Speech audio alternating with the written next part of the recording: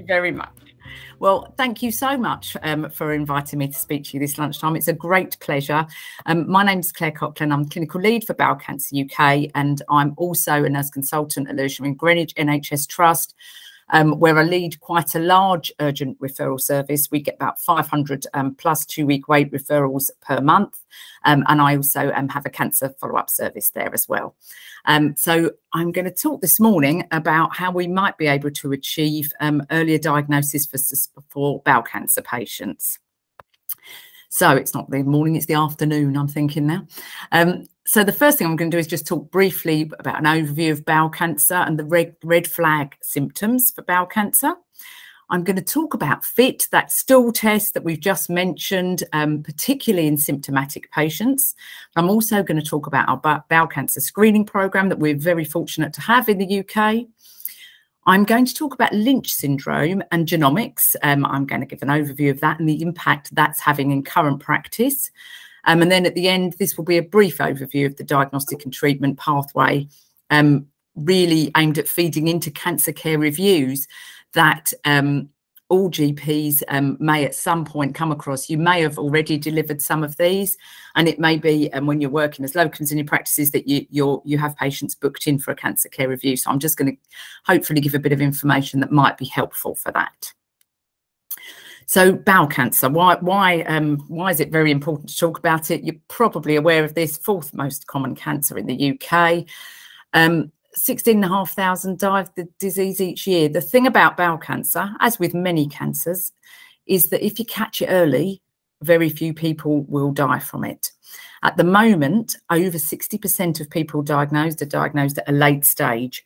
And we really need to flip that because then just uh, so few people would, would need to die from the disease if we got there with the early diagnosis it's preventable. I, I, we we know, like many other cancers, um, bowel cancer is pre preventable. Fifty four percent. I think that's absolutely huge. Um, number of cases could be prevented um, through a bit of healthy living. So these are the protective lifestyle factors.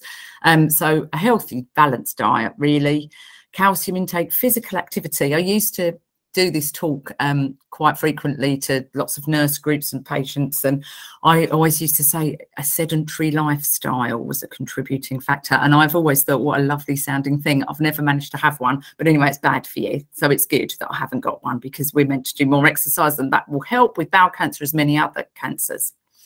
I've got aspirin there. The NICE guidance for the general population on taking aspirin to help prevent bowel cancer isn't there yet. It is for patients with Lynch syndrome, which is an inherited um, condition that predisposes to bowel cancer. The evidence for aspirin in, Lynch, aspirin in Lynch syndrome patients is excellent and actually quite good in the general population. Um, there was an, a fantastic trial um, done not that long ago that showed a 50% reduction in incidence of bowel cancer in patients with Lynch syndrome. So that's huge. So there is NICE guidance on that. And we expect that in the not too distant future, there might be some NICE guidance for the general population as well. The things that are bad for you and lead to bowel cancer are the things that are bad for you with everything else, really. So, a nice bit of steak with a large glass of wine, if you do that too often, that's very bad for you. Um, body fat, particularly that abdominal fat around the middle, and tobacco smoking. So, no great surprises there. It's the, the healthy living that we, we need to all be aiming for. There are um, cohorts that are genetically um, pre, uh, determined um, to have bowel cancer. They have a greater risk due to their genetic makeup. And when you're sitting in your surgeries and somebody comes in and you ask them about their, their history, um, it's really important to ask them about their family history. And I will say a bit more about that a bit further on in the talk. Um, but also about their personal history of bowel cancer or adenomas. So um, bowel polyps, um, they're, they're, far more likely to have um, metachronous, a second tumour, if they've had the disease before, IBD and other diseases. And then we get to the hereditary syndrome. So, Lynch syndrome being the most prevalent. About 10% of bowel cancers in the UK have a known genetic cause, and they will be made up of the ones mentioned on this slide. So, FAP, familial polyposis, and then a non adenoma polyposis syndrome as I said at the beginning, it's just so important that we do all we can to pick these patients up early because as you can see from this data the the, the statistics are just it shocks me and every time i look at it that you, you will have such a, a small chance of survival if if you're diagnosed at stage four and yet at stage one you've got a nine in ten chance of being alive in five years.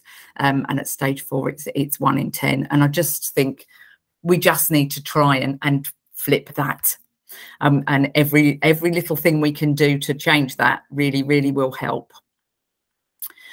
The etiology of bowel cancer um, in this first pathway, pathway A is actually quite helpful to us because that's the classic adenoma, adenocarcinoma polyp sequence, and it allows us to have an opportunity to remove these late adenomas or early polyp cancers. It gets a little bit more complicated when you get to pathway B and C with microsatellite instability in this serrated pathway because you skip a stage. And I'm going to talk a bit more later on in the talk about the, uh, the genome project and genomics. Um, and a lot of that is concentrated on these pathways because there are things we can do to help. There are ways to prevent bowel cancers in these, these groups, in this cohort. Um, but when they are diagnosed on these pathways, the, the cancer is often a lot more aggressive and they respond less well. Um, so picking them up early is very important. But with the first pathway, we definitely have a chance to get those polyps off if we get patients. These are the all important symptoms of bowel cancer. Um, there's been a lot of publicity um, about this recently um, through Dame Deborah James and the work, brilliant work she's done to publicise the symptoms. Um, and these are they. So if somebody presents to you in your practice or on the phone and says to you, I've got bit of bleeding from my bottom. It's mixed up with my poo. My bowels aren't quite what they were. I'm losing a bit of weight. I'm tired. Um, then there there should be alarm bells ringing to say mm, that might that's they're, they're quite general symptoms, but they could be bowel cancer. Iron deficiency anemia is another one or no symptoms at all, which is really tricky. Um, however, we do have a screening program, and I'll come to that. Younger people get bowel cancer too. I, I, I know that maybe sounds obvious, and it's actually about 2,600 last year in the UK, people under 50. So the numbers are small, but the reason that, that we try so hard to make it clear that young people can get bowel cancer too is that younger people tend not to do very well um, and they tend to have a really difficult pathway to diagnosis. So it's really important that we don't think, oh, do you know what, you're 30, it's not going to be bowel cancer because it still could be. More common in older people, but still could be in younger people. So recognising colorectal cancer symptoms in primary care, I think is really hard. I don't think this is straightforward at all. You might tell me I'm wrong about that, but I, I think I, I don't think that this is easy. Um, for any GPs, whether you're locum or whether you're, you know, in a practice all the time, because the symptoms can be quite vague and have, you know, multiple differentials. So if somebody comes into you with a, a bit of belly ache and says, I just haven't felt right, your mind maybe doesn't go straight to bowel cancer. Um, I we when I first started in this post at Bowel Cancer UK, we had I had to have something called media training, which is totally new to someone who's worked in the NHS all their life. And one, one of the answers I gave, I said, this is complicated. And the journalist was trying to train me and said to me, no, it's not. It's not complicated. And afterwards, I said to him, do you know, it, really is. There are lots of things we can do to make it easier, but it is complicated. Um, the good news is that we have this stool test called FIT, and it picks up blood in the stool. And that means that we know who we need to refer. And I'm going to talk a lot more about that in a minute. I'm just mentioning risk prediction tools because some practices do use them. Um, I know that they're sporadically used, probably underused, and there are challenges with them. Um, Macmillan do one, um, and lots of other people do them too. I just want to mention them here because it might be something you use, but I'm predominantly going to talk about use of FIT. Before I do that, I'm just going to go through this case study, um, if I may. So this is a lady that came to Bowel Cancer UK and very kindly shared her story with us. She knows that I'm using it today and she's delighted. Um, so she's a 39 year old lady, busy life, young child, you know, working, running around all over the place as many of us do, and just didn't feel well. had a bit of flu, um, and then it turned into what she described as gastric flu. So she took herself off to a GP, explained that she'd had these cramps and this bit of bleeding, um, and was her GP kind of said, "Look, you don't need to worry about that." Um, she went home. Fortunately, she'd read an article about symptoms of bowel cancer. So she knew what the symptoms were. Uh, interestingly, um, we did some work with Bowel Cancer UK commissioned a piece of work and recently to see how many people knew the symptoms of bowel cancer. 40% don't know one, which is we've really, really got some work um, to do to change that. We really need to change that. But this lady, fortunately, had read this article. She knew about the symptoms. She knew that somebody else had had similar symptoms and and, and she went back to the GP and her GP was great sent sent her for a blood test um, found she was anemic and this then was her story. So she had stage three bowel cancer huge treatment big treatment for anybody. Um, you know life changing a temporary stoma chemotherapy the effects that come with chemotherapy but this lady is still alive um, and you know raising her child. So for her that's you know she did really well. She'd read that article.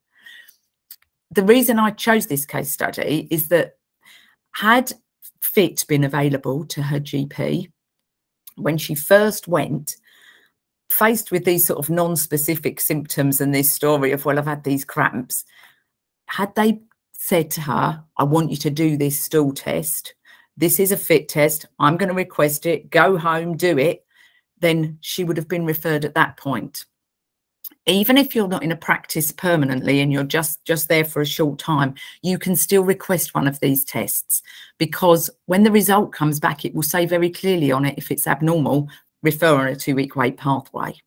So for this lady her gp could have picked it up had they done a fit test at the first appointment. This is just a bit more data about fit. So this is a really good study if anyone feels like reading it. It's great. The references at the end. Um, so risk of colorectal cancer in a 60 year old with these vague symptoms, abdo pain and a bit of change in bowel habit. 1% to 2.6. So NICE say if you're if we if the risk is above 3%, please refer them. So you've got this person sitting in front of you and you're thinking, I'm not sure what to do with that. But if you do a fit test and it comes back as positive, they've got a one in 10 chance they've got bowel cancer, you know then you're referring them straight away. It is such a useful, useful test for referring the right people.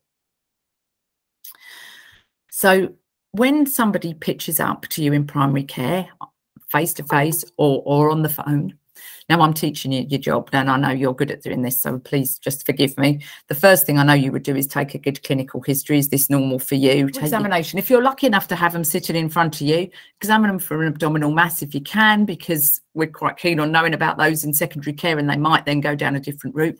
Put your finger in their bottom because if you go crashing into a hard lump, you might have just found a rectal cancer and that will be a great day's work.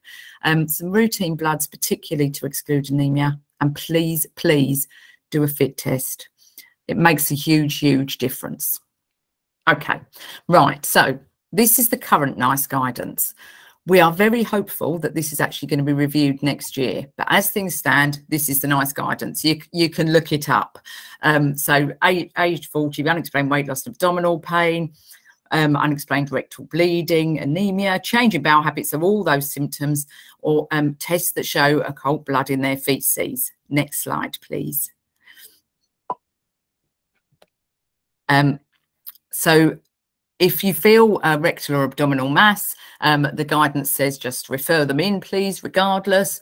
And then we have this sort of thing about the vague symptoms of under 50 with rectal bleeding and any of the other um, red flag symptoms that I've described previously.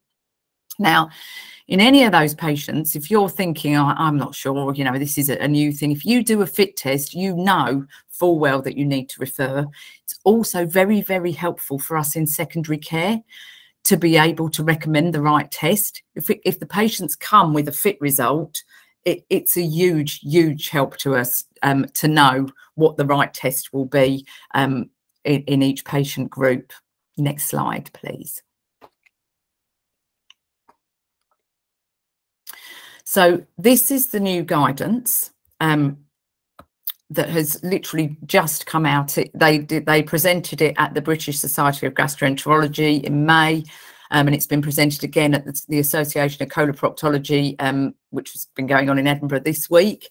Um, and this is what we, we believe will be adopted by NICE um, next year. But if you can be ahead of the game, will, will, it will it will change the outcome for many people. So if it's available to you in the in the practices that you go to to work, please do use it. Now I have to say, we know at Bowel Cancer UK that it's patchy across the country. Um, some places are using it all the time, and it's really easy. I've been told um, that it is going to be incentivized. I don't know if that's true. You would probably know that better than I. Um, but it would be great from my point of view if it was. So it's a really simple thing to follow. If you've got someone with suspected colorectal cancer symptoms, do a fit test. If it's above 10 in a symptomatic patient, you refer straight straight away on a two-week wait pathway. And the reason that's important to say is that the cutoff is different in screening patients. So for someone with no symptoms, the cutoff um, for a fit test is 120. If, if it's 120 or above, they'll be referred on for a colonoscopy. But in a symptomatic patient, the evidence shows that if it's above 10, they must be referred. So it's really important if you've got someone who's in, who's saying they've got these symptoms, but they think they're about to be due for their bowel cancer screening, that you don't just think that's doing the job for you, because actually it might not, because they might not meet the threshold for screening. If the fit comes back as normal, um, but you still have an ongoing clinical concern, um, then obviously you would safety net, um, particularly anemia. I always think anemia is a tricky one um, because if you if you have a negative fit, but you've still got someone with true iron deficiency anemia, actually what you're going to do with them, anemia is a symptom. So um, you know, you safety net and please do still um, refer if you if you if you are concerned. Um, and I certainly wouldn't say not to. But if you do a fit test, a lot of people that you were thinking on balance, I might not bother, you, are likely to pick up the right person, people to refer. So please do, do always do it if you can. Next slide, please. Now, I don't know if you want to see this. This is a video uh, that, and the reason, the only reason I put this on here, and um, we can play a bit of it, uh, maybe, is that just to say it's a really easy test to do. Um, you can probably watch it in your own time. It's this is from Cancer Research UK. They have a brilliant video that tells patients this is from bowel about bowel cancer screening, but it tells patients how to do it, and it's much easier than the old um, fecal occult blood testing where they used to have to have three poo tests on a windowsill. They just do one scrape and send it off in the envelope provided. So it's far easier to do, and patients have found it far more acceptable than they did the old style of poo test that they used to have to do. So next slide, please. Um, so bowel cancer screening, I love this picture. I'm sorry if anyone doesn't like it. This picture always makes me happy because it's about shooting for the stars. And if we do that in bowel cancer, we will change outcomes. So it makes me happy. Um, so uh, in this country, we're very, very fortunate to have a very good bowel cancer screening program. We know there's a lot of work to be done to um, improve update, uptake in certain communities. At Bowel Cancer UK, we, we're trying to do as much of that work as we can, and we've got lots of plans about it. But if you are sitting in front of anyone that's reluctant, please do encourage them. The aim is that by the end of 2024, everybody of age 50 and above, up to the age of 74, will have bowel cancer screening with a fit test every two years. And if that test is positive, they'll be offered a colonoscopy. Next slide, please. Now, it's different across the four nations. You won't be surprised to hear. Um, so um, I actually, the, I, the, first statement I found out isn't true. I thought that everyone in England was down to up to 56 um, now, but apparently it's patchy. And in some areas, we're still on 58 year olds, but in some areas of England, we've got down to 56 year olds. Um, in Wales at the moment, we're on 58. Scotland is 50, and Northern Ireland it's still 60. But they're in each of the four nations, the age is going down. Um, so that's really, really good news. And by the start of 2025, age 50 and above, um, we, we should be, uh, we, we all should be being offered a bowel cancer screening test. Next slide, please. Now, this is just a bit of information about the Genome Project in the UK. So not only do we have a brilliant bowel cancer screening programme, in my view, we're also fortunate to have this Genome Project. Um, and this really in two areas will make a big difference. One, in diagnosis for patients with um, a genetic predisposition to bowel cancer, but secondly, in personalised medicine, so targeted medicines that can treat particular tumours successfully. Um, so there's three strands to it, diagnosis and personalised medicine, pre prevention and research. Um, next slide, please. So for us in bowel cancer, it's important because as we know, the earlier you're diagnosed, the greater chance you have of survival. 10% of patients uh, colorectal cancer is caused by a gene change. And what we're trying to do is identify the DNA changes that contribute to cancer. Um, and hopefully offer more and more drugs that can target specific tumour mutations. Um, so KRAS and BRAF um, being the ones that are important to us in bowel cancer, Lots of tumours exhibit this um, and they tend to have a poorer prognosis. And the fact that we now can identify them and give targeted medicine is a real game changer for us. So it's really important. Next slide, please. Um, in primary care, um, one of the things that, that is extremely important is that you ask about family history, please, um, because there are two strands to this work. One is at point of diagnosis, and I'll say a bit more about that in a minute. But the second is that we're trying to pick up Lynch families, essentially. So when you've got your patient on the phone or in front of you, if they tell you that their sister died at, you know, 42 um, and that their mum had endometrial cancer or a bowel cancer, that should be a, a trigger for you. So a relative under 50, the same sorts of cancers occurring in a family, particularly bowel and endometrial, or somebody with multiple bowel polyps, please let that be a trigger. And you can refer those patients actually to a local family history or genetics service if you do pick up these family histories. There are lots of nurses across the country that run family history clinics in hospitals, um, and you can refer them in for a proper assessment. So, next slide, please. Um, this is Lynch syndrome. So the sort of family history I've just described is a Lynch family history. Um, it's an autosomal dominant um, um, inheritance pattern, 50% chance of carrying the pathogenic um, variant. Next slide, please. In patients that have identified Lynch syndrome, so if they've had the gene test um, and they've got Lynch syndrome, um, it, it's the the odds of getting a bowel cancer are fairly high if nothing is done to prevent it. So greater than 80% chance of a bowel cancer, greater than 60% of an endometrial cancer um, in these patients. And then there are other cancers that occur less frequently, so ovarian and stomach, um, and then the others that you see on the slide um, that that we need to be aware of in patients um, with confirmed Lynch syndrome. Next slide, please. Um, so the genome um, the the um, genome project aims to improve access to Lynch syndrome diagnosis um, for everybody, and the way that we're meant to do that is firstly with the family histories that you can help with in general practice, but secondly, every colorectal MDT is now charged with testing all newly diagnosed um, cancer patients for Lynch syndrome, and there are two reasons for that firstly, to identify these families, and secondly, because then you identify the tumour type and you know if they can have personalised oncological care. So that should be happening. It's a it's a big piece of work. Um, a lot of nurses are leading it in MDTs. Um, it will be clinicians leading it in others to ensure that the tumour testing is done by the histopathologist and then that the appropriate referrals are made. And then, obviously, the oncologists are excellent at the personalised care bit. Um, and there are there are more and more studies being done to improve that. Next slide, please. Um, next slide, thank you. So when you do pick up somebody with Lynch syndrome, their cancer risk can be managed and it can be managed very well, which is why it's so important that we pick it up. So they will have a colonoscopy every two years um, to remove polyps before they turn to cancers. Um, aspirin the NICE guidance is, is there on that slide and you can look it up, but it will be recommended for them really generally by the genetics department in any case. Um, but if you notice that that hasn't happened, please ask for it to happen.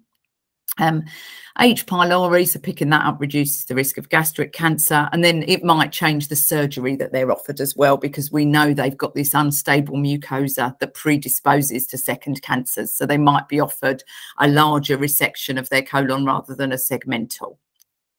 Next slide, please. So all the patients I've talked about so the ones that you pick up in primary care um, after taking your history and please doing your fit test or that have come to us through bowel cancer screening or on one of these Lynch surveillance programs will go on to have this fabulous test of a colonoscopy. Um, so I, love that picture on the left. It's a lovely, clean transverse colon that you would be able to get your scope up and have a really good look for polyps. I, I am a trained endoscopist and that picture makes me happy because that's a lovely, clean bowel. And the idea is that you would be able to find one of those pictures in the middle, a lovely polyp that you can snare and it won't ever turn into that horrible thing on the right hand side, which is a bowel cancer. So all the patients that you refer on the two week wait with a raised fit, assuming they're well enough to, and fit for it, should be offered a colonoscopy. Next slide, please. If a patient can't have a colonoscopy for any reason, they're not fit for it, or some patients through previous trauma um, find really difficult concept in the first instance. There are alternatives. It differs throughout the land, you won't be surprised to hear, um, but there will be an alternative available wherever you're practicing. Um, so CT colonography or capsule endoscopy, CT colonography is probably the most common, and that picks up polyps as well as cancers. Um, and whilst it can't remove a polyp with a CTC, um, you can identify it um, and you can then have a really good conversation with the patient about the need for colonoscopy or how you're best going to manage this and the risks of the pathology you can see. So they are good and useful alternatives. Next slide, please. Um, I've talked about the staging, um, and I'm just going to say now a bit about what happens in secondary care.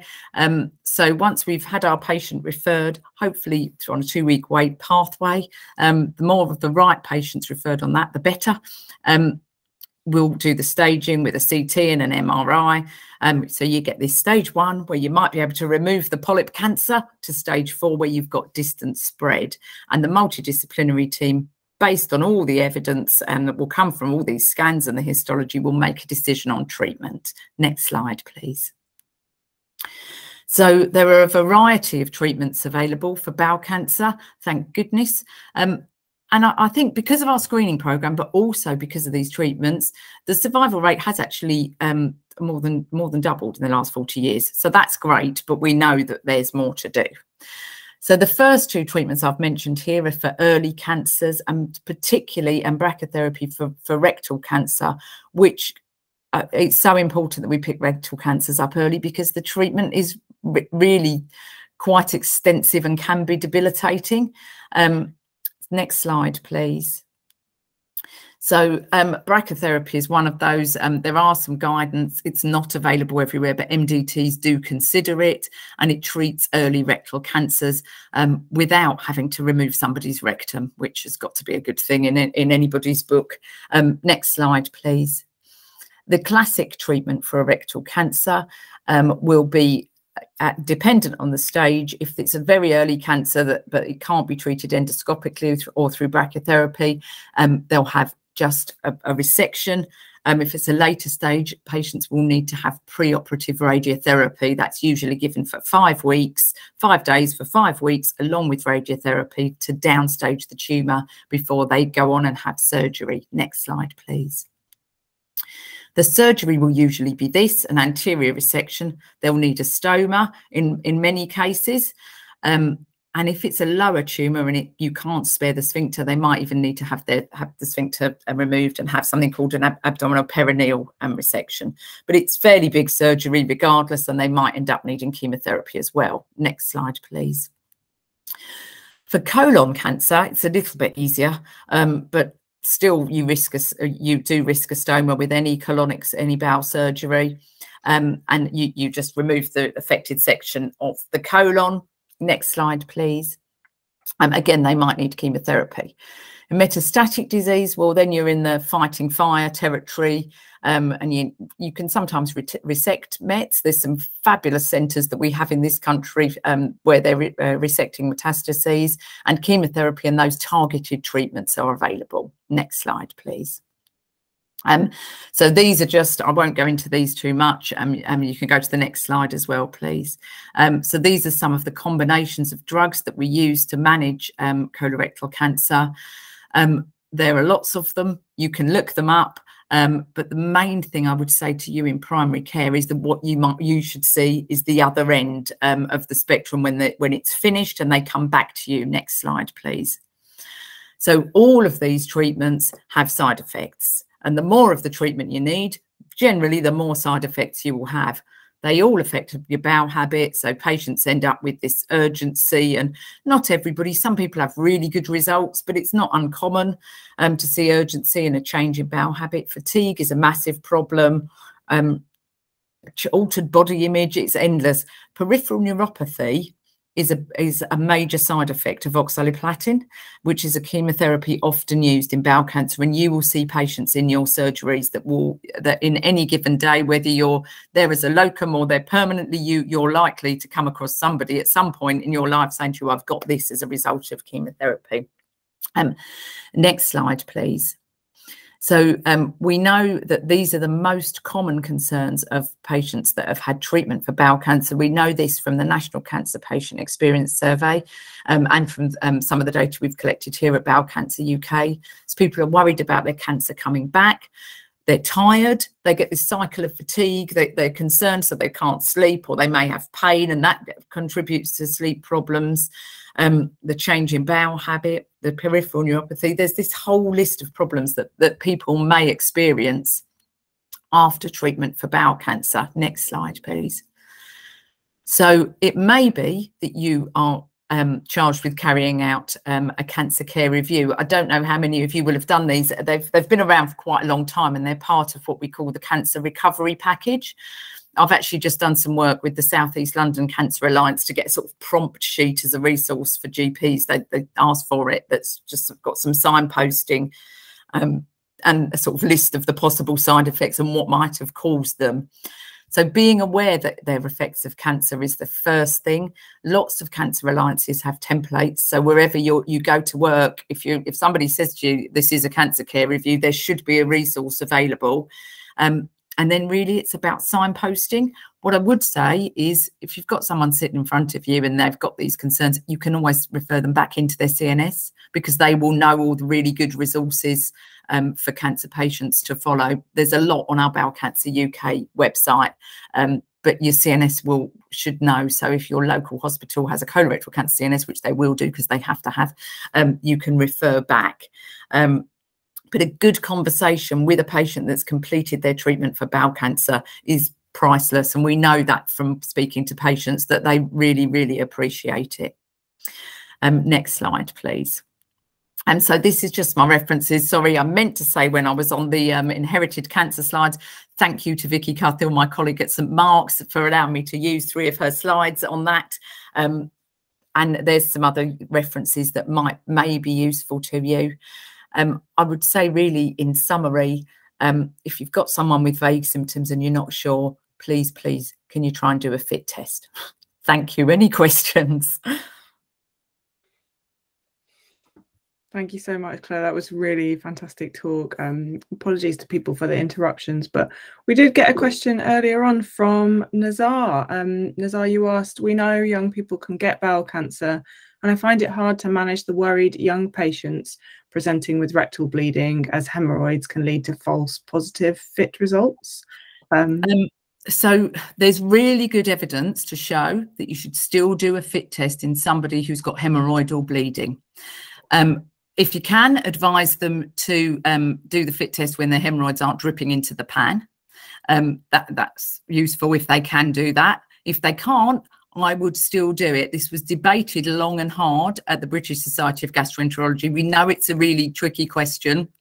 And there's a really good, if you if you get the urge, you can look on Twitter. There's a really good Twitter debate about it.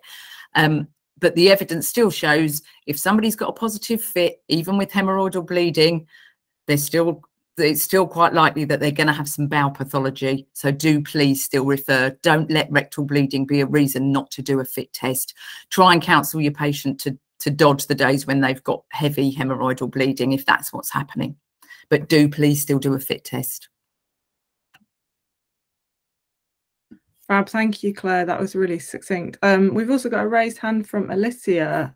Um, Alicia, did you want to ask your question direct to Claire? I think I'm just going to turn on um, Alicia's microphone. There we go. Yeah. Oh, I don't know if that has worked. Hi, yeah, it's worked. Thank you for that talk. Um, just a quick question. Um, I've not seen the screening packs that go out, but does it make clear in the pack that if you've got symptoms, you shouldn't do the test and you need to contact your GP? Because I can I can see a lot of people just be like, "Oh, my bowels have been like this forever," or like that it, woman, it's hemorrhoid. Is there a prompt? It does say to them if you've got symptoms, you should still contact your GP. I have to say, I don't know how many people do. in all honesty, because they probably because how would you, as a member of the general public, you wouldn't know that the cutoff is different. So you'd probably think, well, I'm doing the test and it was clear. But it does say if you've got symptoms, always get them checked and talk to your GP. So um, yes, is the answer. How effective that is, I, I, I don't I don't know. It depends, I guess, on the the person on how likely they are to to respond to written advice like that. They might they might be motivated because they're already doing the screening, which is good. And just one other question that I've just thought of whilst you were saying that. Um, is there any discrepancies between ethnicities doing it? And I'm, I'm thinking more of language barriers. Yeah. Like, can you request the pack in different languages, or is it always same language? No, you can request it in different languages, um, but it doesn't routinely go out in different languages. Um, yeah. And we have some resources on our on our website for people, but you have to be proactive to find them. There's a real discrepancy. There's so much work needs to be done on inequalities, and there are um, communities that we know for a variety of reasons just don't engage with screening. Mm. Um, so I, there's a lot of work being done with those communities and, and lots of awareness um, work being done in the background by Bowel Cancer UK and by local um, teams as well. But yeah, there is. So health inequalities are definitely accentuated by the screening programme. We're, we're asking at the moment actually for the, everybody that's um, declined their test to be reoffered because particularly we know that some communities were affected um, more adversely than others during by COVID, and we can see that some of those communities didn't take up their screening offer and that their, their rates went down, you know, more than usual even. Um, mm. Um, so we're asking that they be resent um, and recontacted. Um, but if you've got any, if you do work in an area where there are any communities that you you know are being adversely affected, do please always contact us because we would go along and speak to them very yeah. happily um, to try and change to try and change it. Well, at Lewisham, I I do an awareness thing um, quite often, and I used to set up um, outside a couple of certain religious centres, and then we would move our table up the high street to outside the Wetherspoons. So we were trying to catch the that was our sort of we we knew the the areas where the uptake was lower. Mm. Um, and we would just try and target them. So if you do, if any of you know of any any communities that you in your area specifically, please do get in touch with us, and we would always come and try and do raise awareness. Does that answer that question? Is that all right? I think yeah, that was perfect. Thank you. Thanks, Alicia. That was a great couple of questions. Um, we're coming into the last 15 minutes now. So if anybody's got anything burning, this is now's the time. I was kind of curious as to how many people um, had had experience of ordering fit fit test. Um, I wonder if it's everybody or yeah, how we that's a really good question. Thanks, Ellie. Um, how how easy do people find it to request them when you're working in different pra various practices. I mean, I, what I would like is for them to be in the drawers. so mm. you can just open the drawer and go, here you are, do that. I find it very, very easy to request. the problem is because you're not giving it directly like a urine bottle, you're Yeah. waiting for the hospital to post it out. And if you forget that sentence of, oh, and if they don't post it out, contact us. And then we're, you know, it's, it's legwork again for us to chase that. So you don't know how often they're actually getting these things and, you know, whether it's actually going to go missed. I think that's a, and I find a lot of areas are doing the same thing. I don't know why we can't just give them. Yeah, I well actually that's something that came up earlier this week with our medical advisory board about that's something we're, we're going to raise that actually they just need to be in every GP practice. So it's easy, you can just hand them out because yeah, you're right. You, there's no certainty about it, is there? You're you're, you're hoping for the best, um, and we and they're the things that that actually, it, as a process, should be quite easy for us to change, um, and would probably make a difference.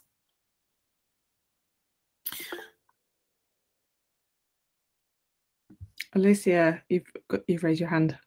So sorry.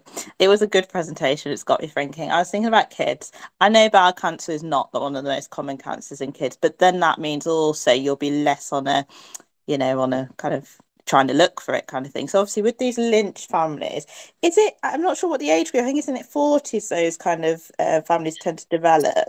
Screening starts at 25 for Lynch syndrome Okay. known Lynch patients because that's when the mucosa tends to start with the instability. Okay. Um, so yeah, age 25. Familial polyposis can be younger, um, but that's that that's you're far less likely to, to come across Yeah, that. I think is there anything specific in kids? Because obviously you, you're never going to be able to get them to do a fit on a kid. And you know, if you just kind of refer this kid with generic abdominal pain, maybe if they're losing weight, you might be able to push it to a two week wait. But it, I find the criteria is not diff, um, easy to find. And so it's, you know, what really should spring to mind? Should I just do the same as adults, you know, weight loss, anemia, and bleeding, or is it Yeah, kind of different? It's it's really difficult. It, it's it's I mean it's very very very rare in children.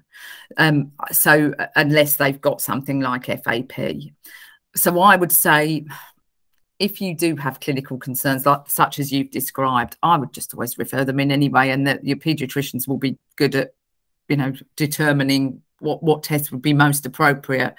I mean it's really hard to invasive investigations in kids unless you've got a really good reason are are difficult, aren't they?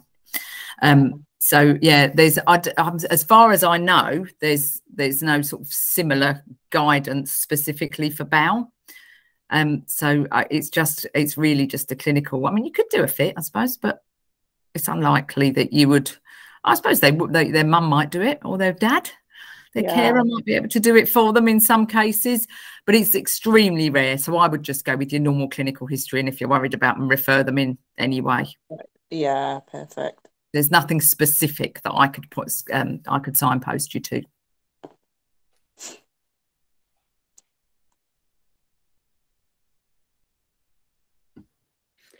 Uh, does anybody else have any questions about different aspects of the presentation? We we sometimes also like people if they've recorded any learning points to just drop them in the chat and just talk about what was a highlight for them. So if anything stood out, let us know. Yeah, and just if there's anything else that you think would be helpful, um, just do, please um, just let me know if there's anything that you you would have found useful to have been covered that um, that wasn't. Um, I think it's really challenging in primary care bowel cancer. I think I mean I think lots of things must be. I, I, I'm I'm I'm in awe of the things that you have to see every day and and are expected to know about. Um, but I think this is difficult because the symptoms are so generalised. Um, Toby, you've raised your hand. like your Hi, picture. yes. Susan. Thanks for a great talk. That was really, really useful. And just a more general point, it just occurred to me in a wider prevention sort of angle, if we could get the general population eating a much better diet with higher fiber, Yeah, we could reduce the rates of this sort of cancers. And Yeah. also then less people would have hemorrhoids and there'd Yeah. be less kind of diagnostic uncertainty. I just wonder, are we Yeah. focusing, like the bowel ca- cancer screening program is great, but are we focusing attention in the right area? yeah, no, you're right. I mean, I I think it's every time I read that out, 54% of cases are preventable. I think it's an astonishing statistic and quite depressing. You're right. You're right that actually, if if that messaging was out there, um, I mean, we, we, do try and raise awareness that a healthy lifestyle is the thing that will prevent it. And you're right, the less hemorrhoids we have, the better. I do a banding hemorrhoid clinic once a month that's full of people that just don't don't need to have hemorrhoids.